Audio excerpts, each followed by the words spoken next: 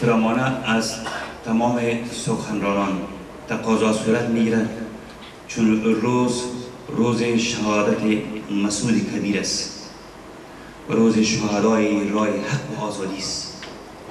اگر صحبت ها در مورد قهرمانی های شهدای حق و آزادی صورت می‌گیرد و ما چگونه می‌تونیم راه این شهدا را به شکل روشنش نگاه کنیم؟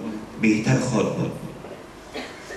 و همچنان از صحبت کننده حد نهایی ده دقیقه وقت دارد چون به خاطر از اینکه به دوستا کن واقعی نگده در این بخش پروگرام از جوان پرتوان و فرنگی کشور من سریع خواهش می‌کنیم که با پیشکش پارچه شیر خاطر دوستا را شاد بسازیم.